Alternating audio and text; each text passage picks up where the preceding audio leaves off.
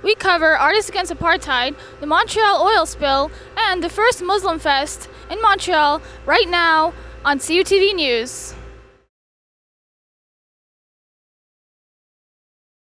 Welcome to CUTV News. This is Elsa. CUTV went to look at some of the damage done by the oil spill on the St. Lawrence River. But first, CUTV was at Artists Against Apartheid. Here's what we saw.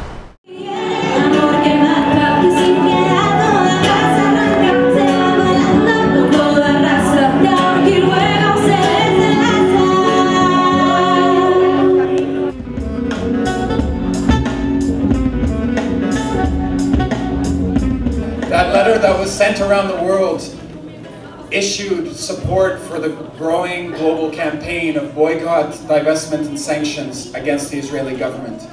That letter comes from a context, and that context is the relationship and the important relationship between social movements and the arts here in our city. We live in a city where the arts are not simply products to be sold on the marketplace, but we live in a city where the arts mean something, we live in a city where the arts take part in community. And we live in a city where arts take part in struggles for social justice. My name is Stefan Christoff, and I'm a member of Tadam, which is a collective in Montreal that facilitates a project called Artists Against Apartheid, which is an effort to bring together uh, artists from many disciplines in Montreal musicians, dancers, writers, uh, painters, poets in support of the struggle for Palestinian liberation and it's a project that now stretches back over three years. Um, we've had um, now 13 concerts. It's our 13th concert.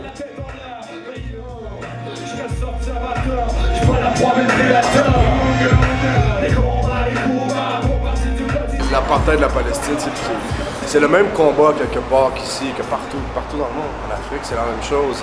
Je veux dire, c'est un combat international que tu sois Première Nation du Canada ou que tu sois que tu viennes de la Palestine, c'est juste qu'il y a des années de différence. Je veux dire, là-bas, ils vivent en ce moment ce que nous, on a vécu il y a comme 400 ans.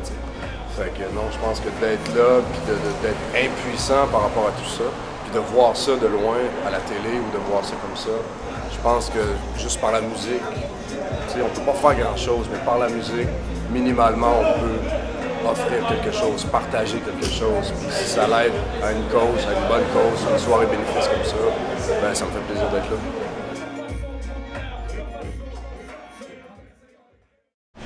Muslim Fest has been going on for seven years. This Saturday was the first time in Montreal. Take a look at some of the rich cultural events that were part of Montreal Muslim Fest this year.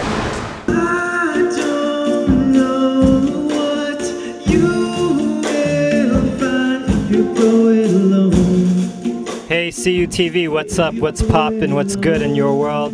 Welcome to Muslim Fest.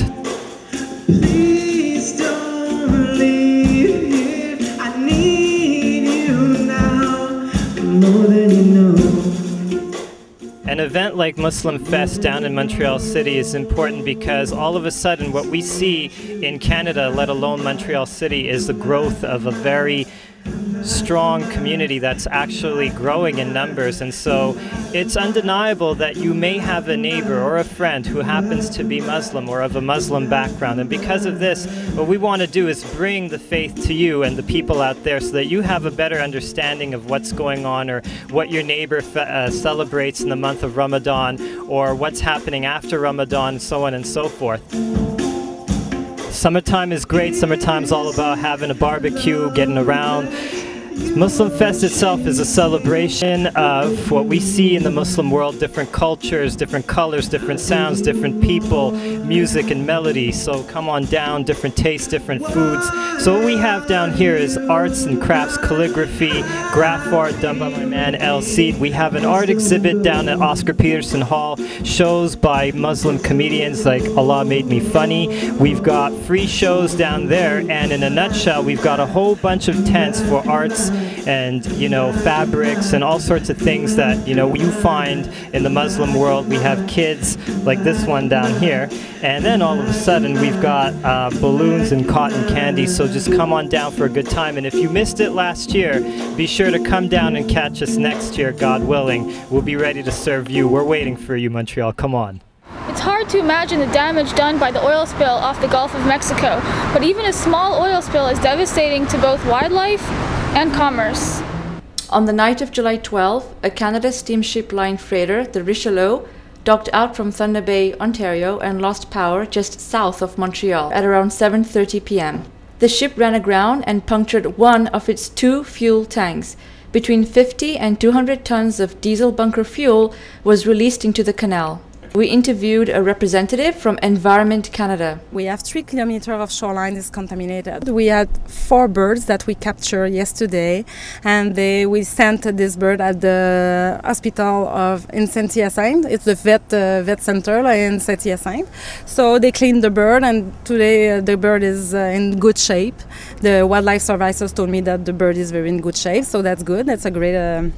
Uh, great news because we are well prepared and we have a good team and we do a lot of prevention with the company. We work very often with this kind of company, just with uh, in, in, type of training or course or, or just workshop. We work with them and say how we, we can work together if it, if it happens. Three days after the spill, approximately 18 freighters will be lined up, unable to move due to the unfinished cleaning. That's it for this week's episode of CUTV News. I'm Elsa. Join us on Facebook for a behind the scenes look at our team here at CUTV. We'll see you next week.